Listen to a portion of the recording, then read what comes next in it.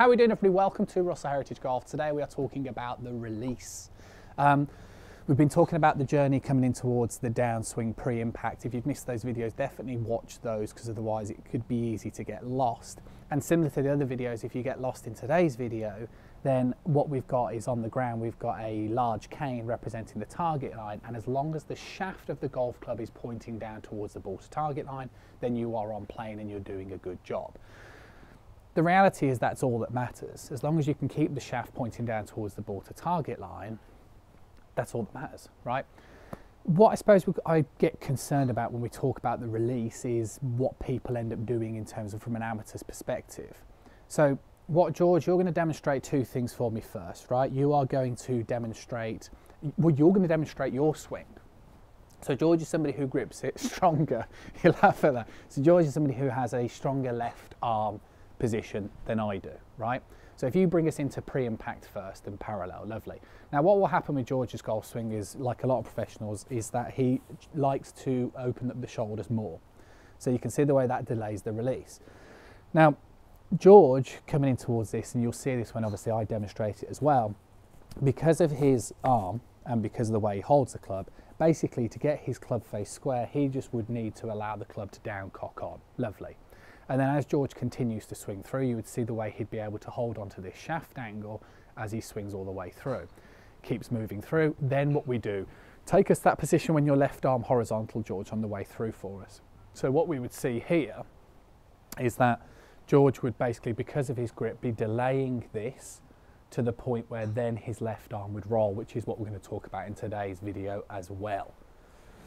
Now, if I just, if we kindly swap places, George, so I would be weaker in the left hand than where George is, which means again pre-impact, I would have to introduce more of a rotation of this lead arm to get me back onto plane. Because if I copy George's movement, then I would end up being off plane. And again, if you get lost in that, get yourself a ball to target line and a laser pen and you won't get lost. But what we can start to see is that although I would be changing how much rotation is needed to get the face square, coming in towards this post impact, it would look very, very similar again because we are both choosing to hit the ball with open shoulders. If, and there are tour professionals out there who hit the ball with squarer shoulders, then you would start to look more like so, right? So you can see the way that my wrist looks more angulated than it does if my shoulders are open. So if you are opening your shoulders, you're basically delaying the rollover, right? And I'm going to class it as the rollover rather than the release. And if you are somebody who hits it with square shoulders, then potentially the rollover is going to occur earlier.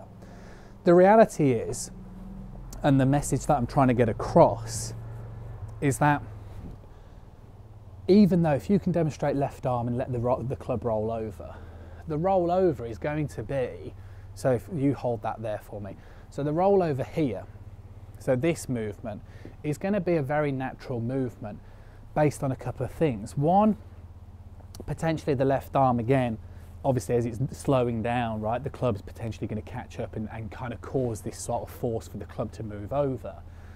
But second to that, it's actually anatomically very difficult to restrict any rotation. Exactly, yeah, you do that, hold it off, yeah. Do you see what I mean? It's, it's physically very uncomfortable to do, so it's not impossible, right? And there are some great golfers that have hit it with an entire drive hold. But for myself, I'm very limited on this side as opposed to on my other side. So I don't probably have a choice physically than to allow the club to roll, even if I try to hold on to it.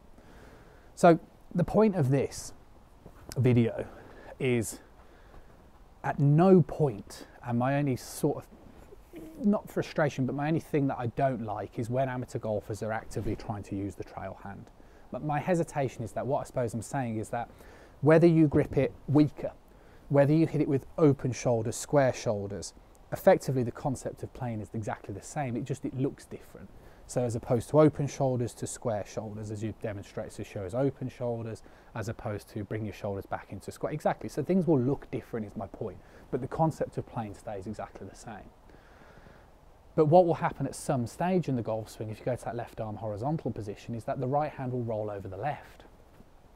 And therefore, that's basically what is happening. It's because at some stage it is very difficult to hold this left arm, as me and George tried to demonstrate earlier, without it rotating at all. It's, for me, it's physically uncomfortable. So my arm will roll, but that's the point. It's not this hand that's forcing it to roll over, and I think that's where sometimes um, you know we can get a little bit lost. If you start trying to use your right hand excessively, then for me, you're just going to be prone to inconsistency in the bottom part of the golf swing. And I think going into the previous lesson, the only reason why you would feel like you hit it better with a roll is because you're not on plane coming in towards if you demonstrate that, you know, similar to what I did in the last video. Yeah, exactly like George is demonstrating here.